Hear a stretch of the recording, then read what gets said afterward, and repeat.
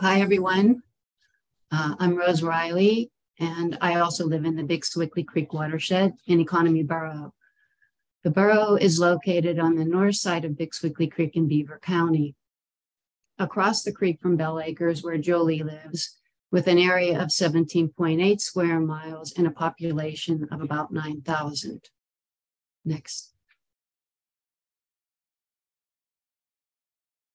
So the next question is how do water withdrawals impact habitat and biodiversity?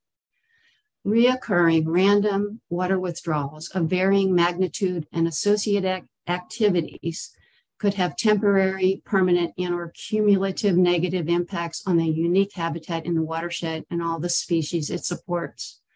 One round of withdrawals, let alone years of reoccurring withdrawals, could severely damage the ecosystem Withdrawals harm fish and wildlife and, and, and macroinvertebrates. They increase water temperature.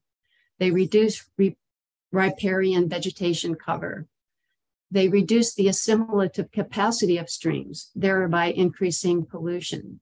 And they promote invasion by non native species. Next. Withdrawals reduce flow necessary for ecosystem function.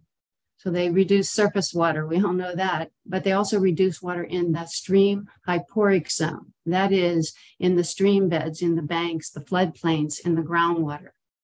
Withdrawals cause severe depletion in the hyporheic zone in streams that have bedrock substrate, like Big Sewickley Creek. And small watersheds, again, just like Big Sewickley Creek, are more vulnerable and sensitive to changes in flow. Next.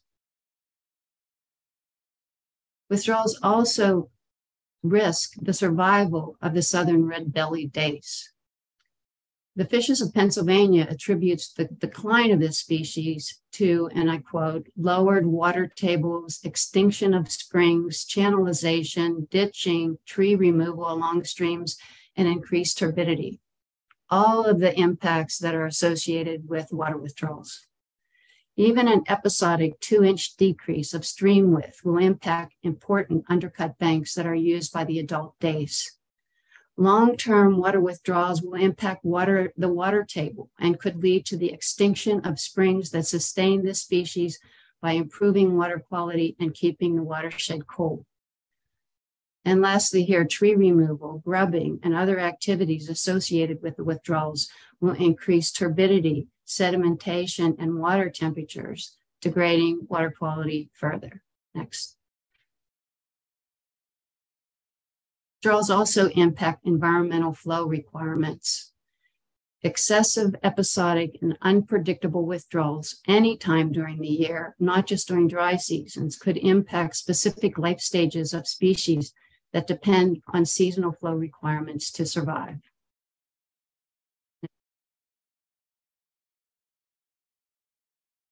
And the last question should small watersheds be protected from withdrawals? The answer is yes, absolutely. Withdrawals degrade habitat and decrease biodiversity, and small watersheds are less resilient than larger streams and rivers. Withdrawals will lead to the loss of species of conservation concern, like the southern red bellied dace.